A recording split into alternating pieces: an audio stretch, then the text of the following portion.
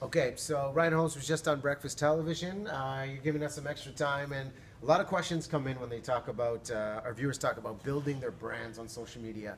It can be fun for the average person sharing stuff, but if you want to build a business, how do you amplify your work if your initial posts don't go viral? What do you find really works with that? Right. So, you know, first off, I would look at what your initial posts are, right? Like, look at look at the content you're putting together. Um, a lot of people, I think, expect to you know set up a Facebook account, uh, make a video on YouTube, put it onto Facebook, and like kick back and wait for the million views to come in. And you know, that's that's not going to be the case. Um, you know, trial and error on content, types of content, you know, what you're putting out there, and building. You, you're going to have to work at it, and that does take time.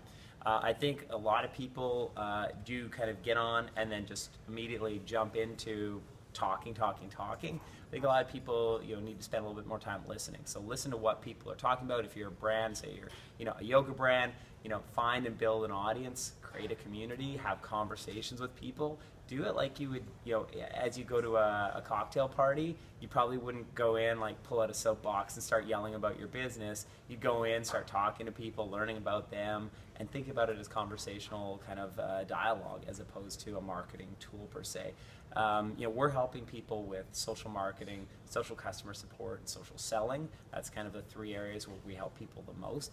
Uh, we have a ton of resources online, university product uh, that's uh, our Hootsuite Academy uh, that can get people more information on how to build their own social brands. So outside looking in, if you're thinking, okay, I want to build a business, Yeah. there are so many platforms. I mean, we talked about Facebook Live today. You've got Snapchat, Facebook, Instagram, Twitter. Yes. How do you choose a specific platform for your business? How do you know what's going to be the right fit to get your voice and your brand out there?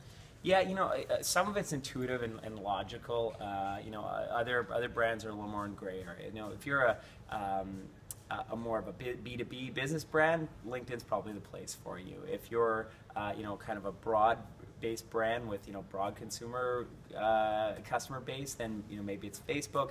Uh, if you're going for a very young demographic, maybe Snapchat. Uh, so you really have to tailor it to what your brand is, what your offering is, and where you want to invest. And you know maybe you're aspirationally want to you know be in a, in a youthful demographic, then Snapchat should be where you're you know learning and investing your time in, in getting better at. And for the content that you've shared and what you've seen really resonates, what do you find is the most successful to create shareable content?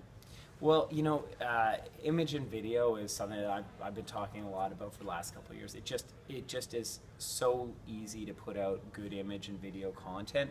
Um, written content, you know, takes more time. It also takes time for you know your your audience to read, digest, consume, and and then ultimately share it.